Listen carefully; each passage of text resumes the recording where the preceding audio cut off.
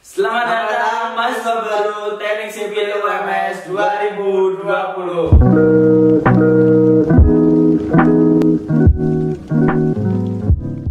Selamat datang kami ucapkan pada serangkaian pengenalan mahasiswa baru UMS di tingkat prodi yaitu Workshop Effective Learning Skill atau yang biasa dipanggil dengan WELS.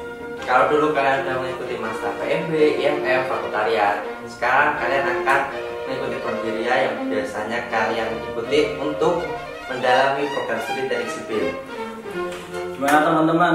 Video tentang jembatannya menarik bukan? Nah, pada sesi kali ini kita akan membuat sebuah jembatan tetapi dalam skala kecil.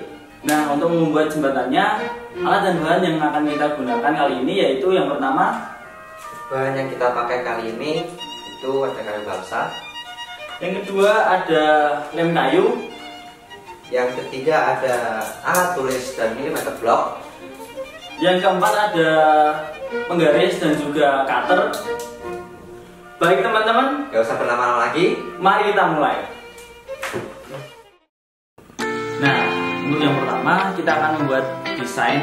Nah, alat yang alat dan bahan yang akan kita gunakan yaitu yang pertama ada milimeter block, penggaris dan juga alat tulis.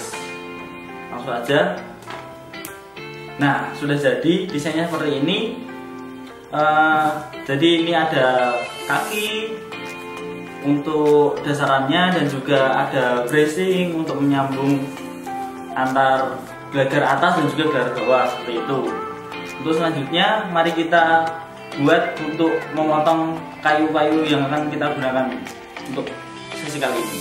Pada sesi kali ini, kita akan membuat miniatur sebuah jembatan dengan yang namanya kayu basah. Seperti ini, eh, rupa-rupa dari kayu basahnya kalau masih utuh. Nah, setelah ini kita akan memotong perbagian yang selanjutnya akan dijadikan satu untuk dirangkai jadi jembatan utuh seperti itu. Nah, sudah jadi eh, kayu basahnya kita potong dari desainnya menjadi beberapa bagian. Selanjutnya, mari kita susun untuk membuat kerangkanya yang satu sisi.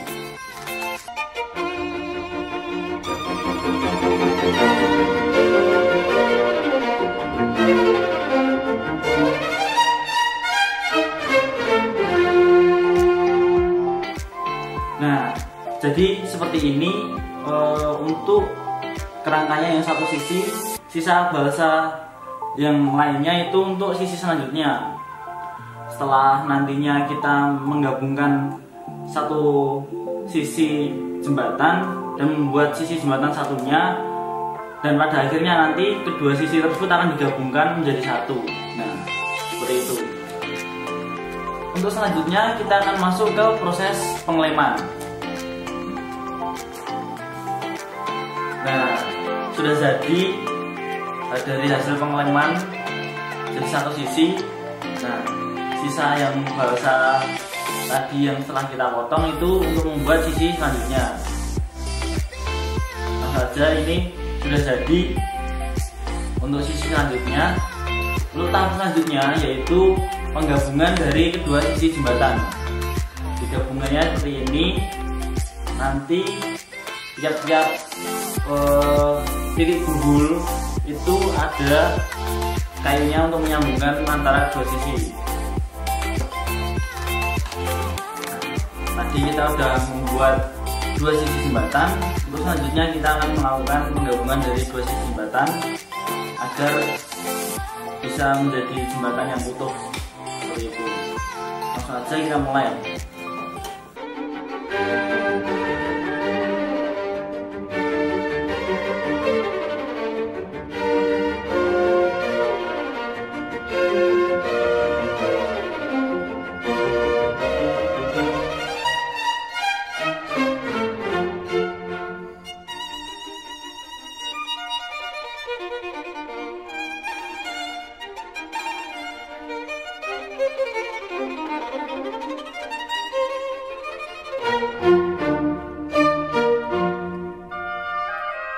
Nah,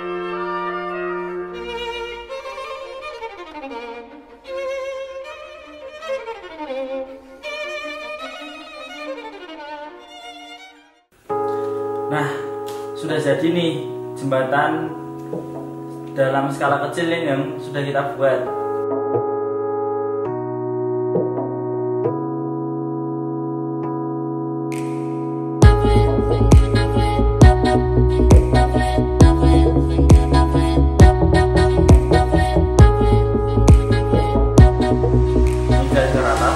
Bawah, dressingnya, dan ini kaki jembatannya. Jadi seperti ini teman-teman hasil dari kita membuat jembatan dari bahan kayu. Seperti ini, ini ada kaki, ini bagian atas, bagian bawah, ini dressingnya. Nah itu kalian juga bisa membuat jembatan seperti ini dari bahan-bahan yang lain sesuai dengan prosedur yang telah saya jelaskan tadi. Kurang seperti itu. Cukup jelas kan? Nah, cukup sekian video penjelasan dari kami. Semoga bermanfaat. Assalamualaikum warahmatullahi wabarakatuh. Eh, Dede, jangan pergi dulu.